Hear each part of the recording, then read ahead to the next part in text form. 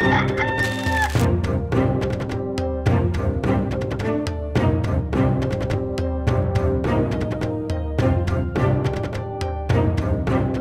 treated one soldier after another, pouring boiling hot oil into their wounds until my supply of oil ran out.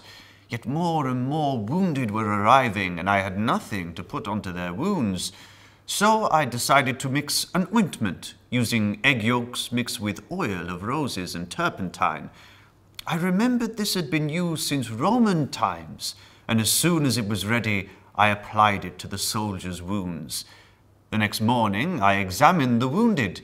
One who had been treated with my ointment was resting comfortably, with his leg wound looking healthy. Others, too, who had received the ointment were alive and looked as if they would survive.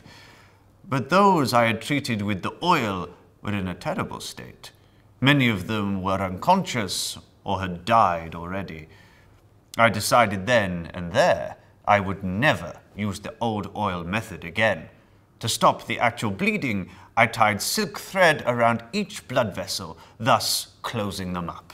This is called a ligature.